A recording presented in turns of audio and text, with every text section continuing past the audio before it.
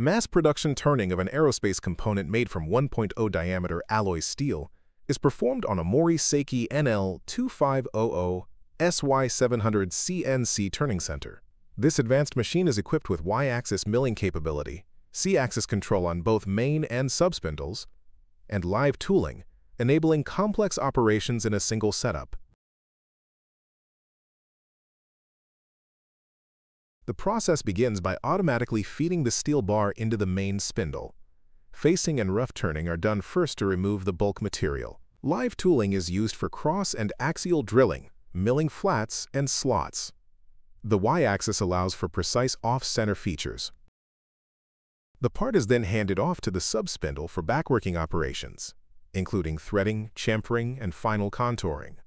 High-pressure coolant ensures chip evacuation and thermal stability while tool monitoring and in-process inspection guarantee dimensional accuracy and surface finish. This integrated machining approach significantly reduces cycle time and handling, ensuring consistent, high-quality production for demanding aerospace applications.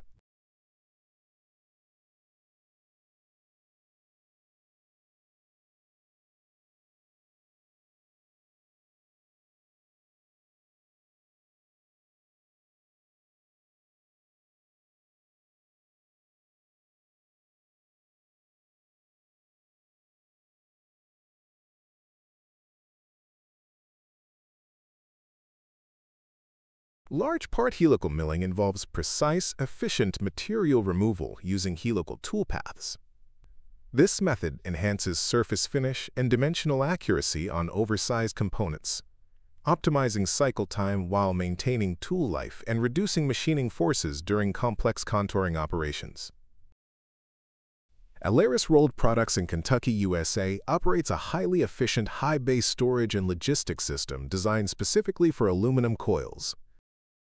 The system has a total storage capacity of 504 aluminum coils, each weighing up to 26.5 tons. The layout includes a single aisle accessed by two automated stacker cranes, which operate at horizontal speeds of up to 180 meters per minute and vertical speeds of 24 meters per minute. Coil infeed is managed by a high-speed transport car, ensuring quick and reliable delivery. The system features fully automated strapping and marking processes before coils are transferred to the cold rolling mill or inspection lines. It provides highly flexible and extremely gentle handling for sensitive aluminum materials, minimizing mechanical stress and preserving surface quality. As a cost-effective solution, it allows seamless integration between multiple processing lines and intermediate storage, optimizing productivity and inventory control across the facility.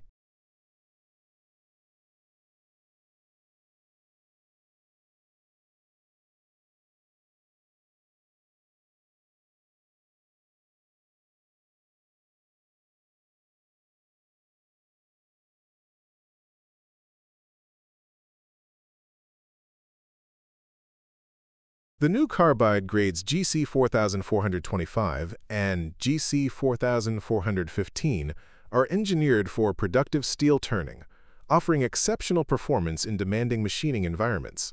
These grades deliver improved wear resistance, heat resistance, and toughness thanks to the second-generation Inveio coating technology.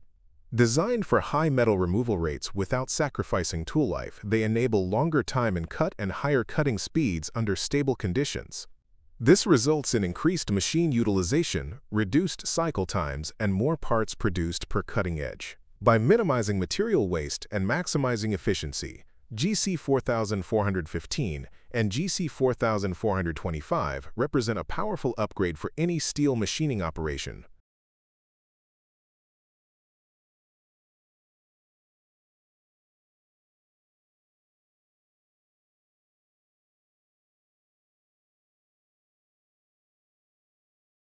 The Milturn CNC machine enables complete machining of highly complex components in a single setup, utilizing both the main and counter spindles for maximum efficiency. This multitasking solution delivers exceptional performance with its powerful counter spindle rated at 29 kilowatts and capable of 5,000 revolutions per minute, supporting a chuck size of 250 millimeter. The machine also features a robust milling spindle, delivering 29 kilowatts at 12,000 revolutions per minute, which ensures high-precision milling operations across a wide range of materials. Combined with a powerful main spindle, the Milturn CNC machine is ideal for demanding, multi-process machining tasks, reducing setup time and increasing productivity.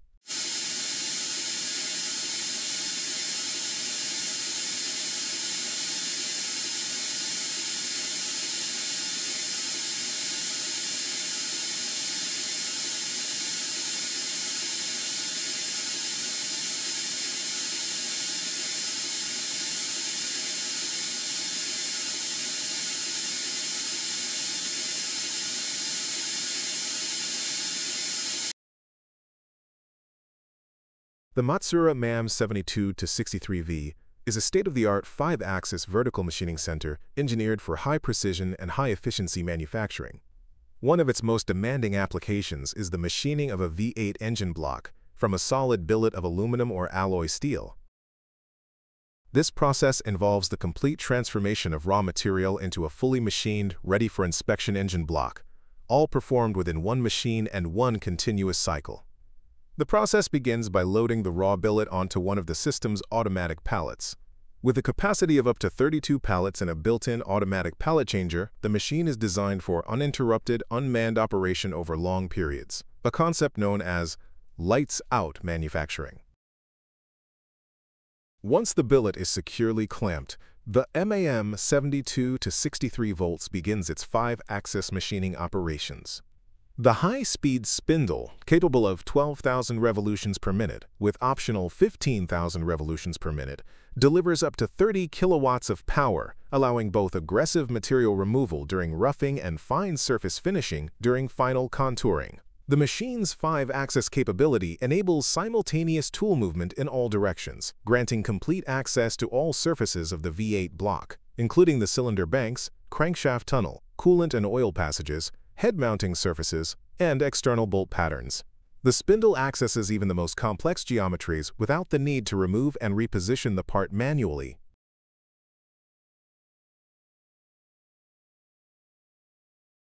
One of the critical technologies integrated into the MAM 72-63 volts is Matsuura's Thermal Meister compensation system. This feature constantly monitors the temperature of the machine structure and cutting area, making real-time adjustments to maintain micron-level accuracy. This level of precision is crucial for engine block machining, as it involves tight tolerances for cylinder alignment, piston bore geometry, and mating surface flatness. Any deviation can result in performance losses or component failure in the final engine assembly. The machine is equipped with an automatic tool changer, ATC, that holds up to 320 tools. This allows for seamless transitions between milling, drilling, reaming, tapping, and chamfering operations, all within the same cycle. Each tool is monitored for wear, and in-process inspection probes are used to measure key features such as bore diameters and depth to ensure consistent quality. If a dimension is out of tolerance, the machine can automatically adjust tool offsets or flag the component for inspection. The production cycle typically includes several machining stages, roughing the external geometry, contour milling of combustion chambers and deck faces, boring of cylinder bores, drilling of oil galleries and head bolt holes, and precision milling of the main bearing saddles. The five-axis configuration ensures that these operations are done in a single setup, which greatly reduces cumulative error and setup time. Once machining is complete, the engine block is transferred to a cooling station and then automatically cleaned of chips and cutting fluids. It is then subjected to a final dimensional inspection, either on the machine using integrated probes or offline with a CMM. The entire machining and handling process is managed by the Matsuura control system, which is often integrated with factory ERP and MES platforms to ensure traceability and production optimization. In conclusion, machining a V8 engine block from solid billet using the Matsuura MAM 72 to 63 volts represents the pinnacle of modern, high-performance manufacturing. With its high-speed spindles, large tool capacity, advanced thermal control, and automation-ready design, it dramatically increases productivity, ensures superior part quality, and eliminates the need for multiple setups or machines.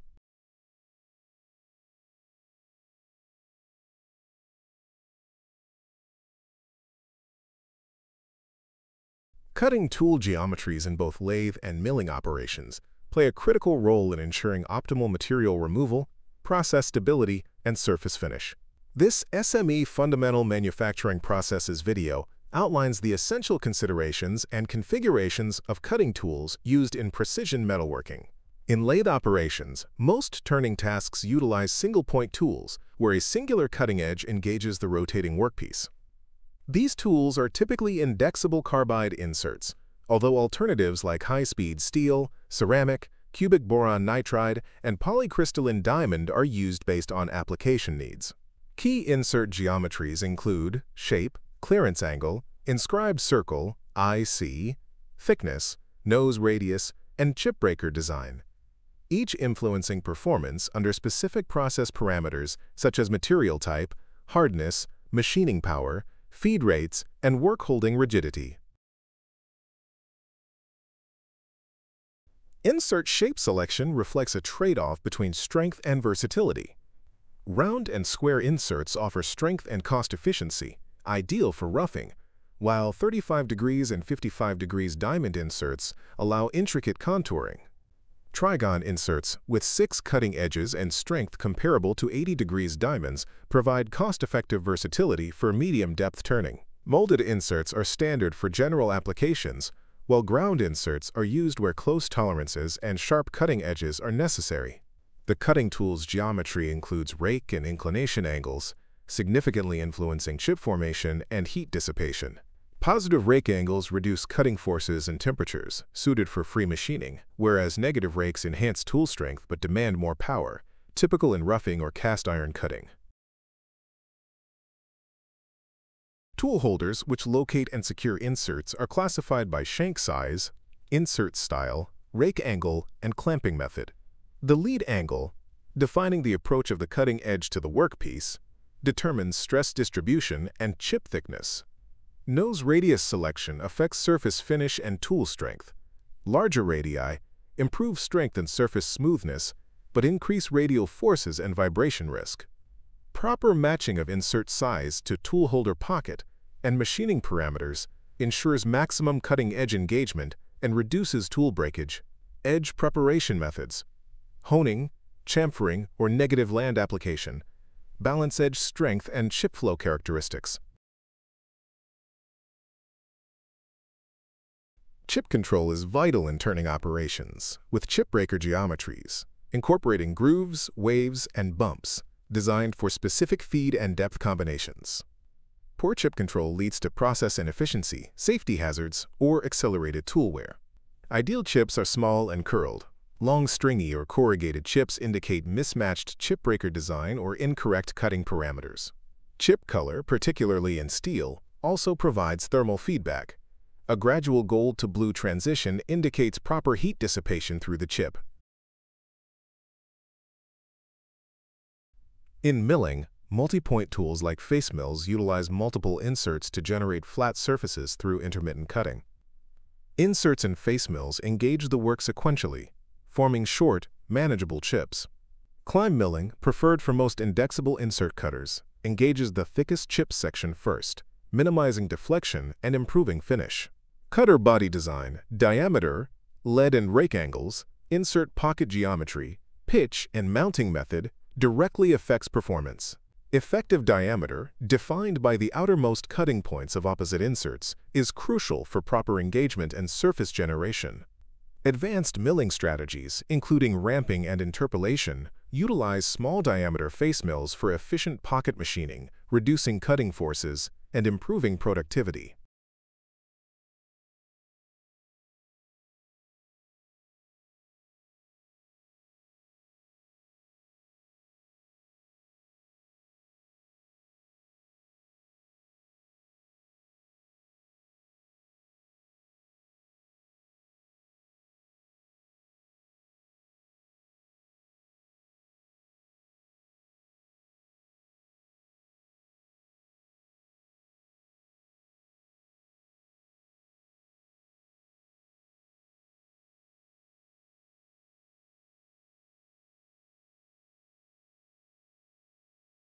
The Hyundai WIA L2100SY is a high-precision Y-axis CNC turning center engineered for complex and multitasking operations in modern manufacturing. Designed to perform both turning and milling operations in a single setup, this machine integrates dual spindles and a live tooling turret, enabling comprehensive front and back machining with minimal intervention.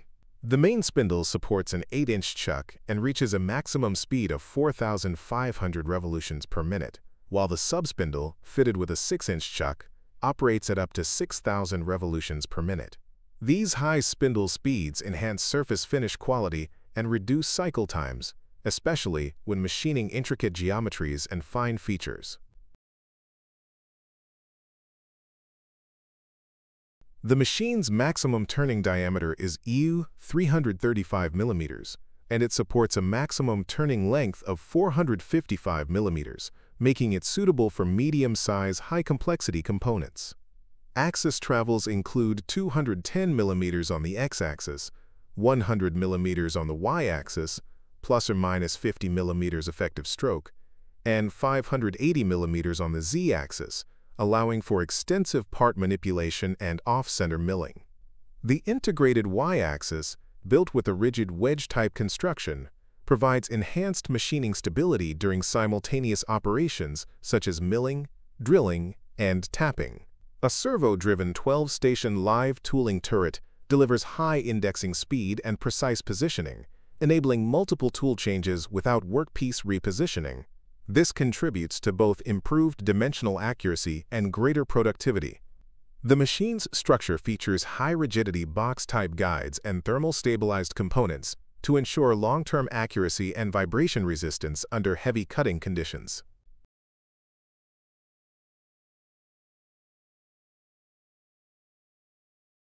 Control is managed by the FANUC 32 IBCNC system, HW FANUC I series, which offers high-speed processing, intuitive user interface, and broad compatibility with CAD-CAM systems.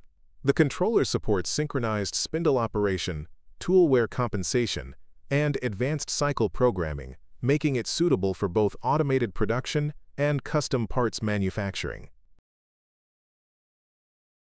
In sum, the Hyundai WIA L2100SY delivers advanced multi-axis capabilities, high-speed dual spindle performance, and robust construction, positioning it as a reliable solution for industries demanding precision, versatility, and reduced setup times in complex part production.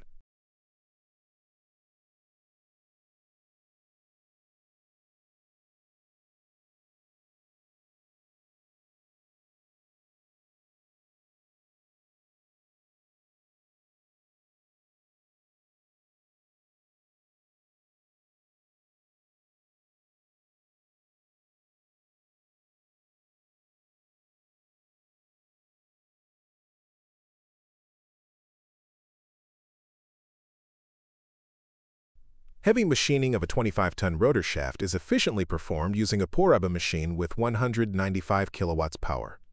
The operation employs SCMT38 positive inserts, coated with Duratomic TPO500 for extended tool life and heat resistance. The Special Court-SSBCR4053-25 tool holder ensures stable, high MRR finishing on high-grade steel. The maintenance process begins with inspection on the injection molding machine, followed by preparing the core side by lifting the mold and loosening screws without disconnecting electrical, hydraulic, or cooling lines. Next, the head slider is removed by loosening the ejector rod screws, allowing crane-assisted removal without hose disassembly. Side jaws are then easily dismantled after removing the slide.